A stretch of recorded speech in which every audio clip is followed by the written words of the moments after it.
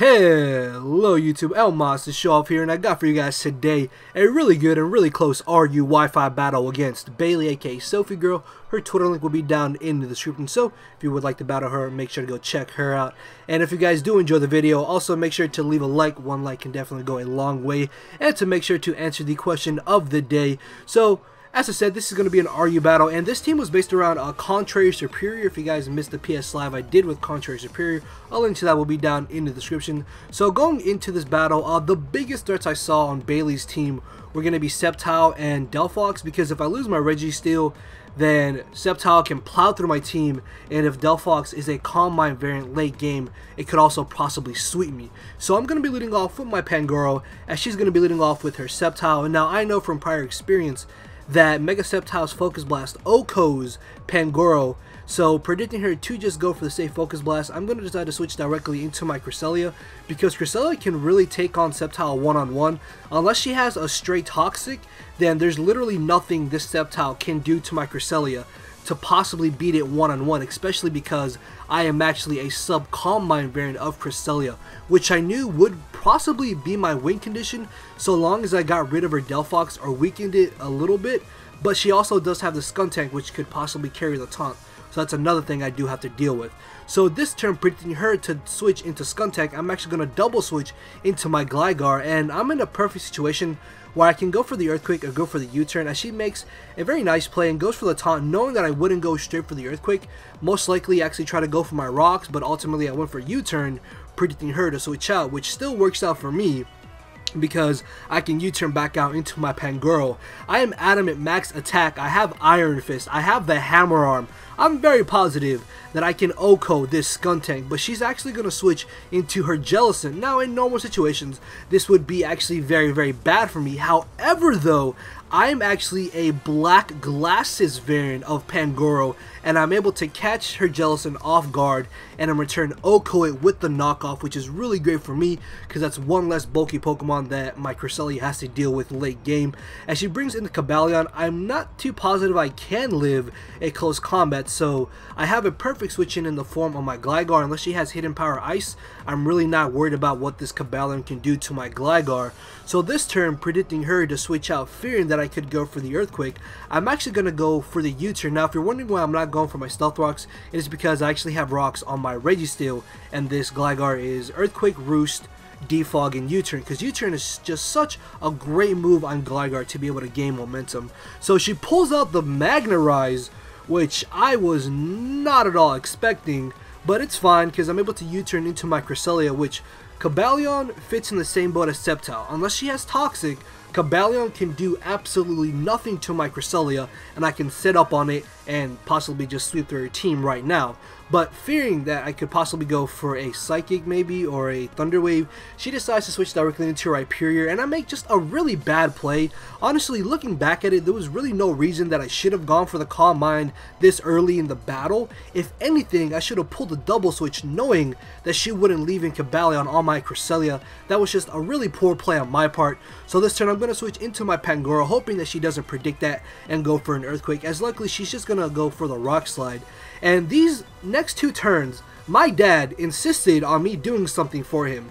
So when I brought in Pangoro on Rhyperior, I was like, okay, Hammer Arm is going to OHKO this, even if it doesn't, it can't do anything to me. So I click Hammer Arm, I put my 3DS down, go help my dad with whatever, and it turns out that she's weakness policy with Rock Polish. So I come back and I'm thinking, okay, so after the minus one speed, she outspeeds me, I can live. Okay, I get OHKO'd, it's fine. My dad calls me again, I bring in Serperior, and I click uh, Leaf Storm thinking, okay, I cannot speed Rhyperior and knock it out. So I go help my dad. I don't even remember what it was. I think it was something with our air conditioning or heater or whatever. Then I come back and my Serperior is dead. And I'm thinking, what just happened? I, I was prime set and ready to sweep with Serperior. And then it dawned on me that maybe she could have rock polished so I just bring in my Hitmonlee and I go straight for the Mach Punch. And that's actually really bad for me because I was really hoping to have Serperior to be able to break down her team to set up for my Cresselia to sweep later in the match. And now with Serperior gone, there's more pressure on my Cresselia to try to win me this battle. So she brings in the Delphox. I decide to switch directly into my Gligar, basically as Death Fodder, knowing that any two hits coming from Delphox would be able to knock me out. As she goes for the Fire Blast, I'm going to bring in my Registeel. And I know this may seem very odd, but I know from prior experience that a max special defense, max HP Registeel can live a Specs Fire Blast coming from Delphox. As I do live, I'm going to be able to paralyze his Delphox, which is going to be absolutely, absolutely crucial to me later in this battle because Delphox right now became the biggest problem to my team. So I'm going to be able to get off a bit of chip damage with the Seismic Toss as she doesn't get paralyzed or misses Fire Blast, I might add. And she's going to be able to just roast my Registeel. There was honestly no reason for me to get up rocks this part in the game because all I really needed to do was get off a little bit of damage on Delphox so my Cresselia could beat it easier one-on-one -on -one because I have non-stab Moonblast which is also resisted by Delphox as my offensive move. So she's going to bring in the Skuntank and I'm going to go ahead and go for the Calm Mind. In hindsight, maybe I should have gone for the Substitute. I think that probably would have been the better play on the off chance that, he, that she did want to stay in, trying to uh, get off as much damage as she could with Delphox before I possibly took her out. But she ends up switching directly into the Skuntank. I'm going to go ahead and sub because I'm fearing that if she goes for the Poison Jab, she could poison me. So subbing, she turns out to go for the Taunt, which in hindsight, I don't, I don't want to keep saying hindsight, but looking back at it, I probably could have definitely switched into Hitmonlee.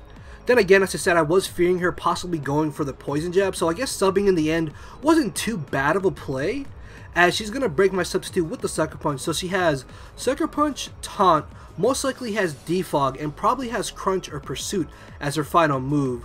Uh, then again, there still is a chance she could also have the Poison Jab, which I am really, really still fearing because I don't think my Hitmonlee can safely switch into this Skuntank taking the Poison Jab. So I'm honestly in a bad situation right here, so I'm basically forced to bring in my Hitmonlee hoping that she doesn't go for the poison jab, as thankfully she doesn't. She ends up going for the sucker punch, which is really good for me because now I'm in a prime situation where I can just go for the high jump kick. And she makes a very questionable play, and she stays in here. I think she said that she thought she could live a high jump kick. So I ran a damage calc, and even if she was max defense, max HP, at the amount of HP that she was at, a high jump kick still had a really good chance to knock her out. So as long as I didn't get minimum damage, that crit with high jump kick did not matter. But then there was a chance I could have got him in damage or on just... Yeah, I don't know. You guys can be the judge on whether or not the crit mattered. But as I said, as long as I didn't get minimum damage, high jump kick still would have knocked her out. So I'm going to get off a bit of chip damage with Mach Punch on this Sceptile as I can bring in my Cresselia. At this point, Cresselia is my last Pokemon. This is my win condition as I mentioned earlier. She still has Sceptile, she has Delphox, and she has Cobalion. So I'm in a very good spot to where I could actually sweep with Cresselia. So I'm going to go straight for the Calm Mind thinking that she would leave in her Sceptile just trying to chip away and wear down my Cresselia as much as possible. But she makes a bit of an odd switch into the Delphox. I'm not really too sure why. But this is actually very good for me because I'm basically going to be able to set up all over this Delphox. Okay, the reason why this is so sped up is because literally like the next 10 turns are just me subbing, calm minding, and I think going for a moonlight or two, as she's getting pretty lucky, not getting paralyzed, and still hitting her fire blasts. And I believe ultimately I end up getting to like plus 5 special attack and plus 5 special defense. If she had switched down to Sceptile in any of these turns, it wouldn't really have helped her any just because after about 3 calm minds, I think Sceptile cannot um, do enough damage to break a sub. Uh, correct me if I'm wrong on that. But yeah, I'm just gonna stay in. There's, I'm sorry, there's really nothing else for me to stay besides the fact that I'm using this Delphox as complete and utter setup fodder. And uh, she actually ends up running out of Fire Blast as she's gonna be forced to struggle. So as I get up a final substitute, I believe I'm just gonna knock her out this turn, or she gets knocked out by the recoil from struggle. But she's to bring the Sceptile. I'm literally not fearing anything that this thing wants to do to me. As she turns out to have the Leaf Storm, I believe that does end up breaking my sub. Oh, no it doesn't. Okay, sorry about that.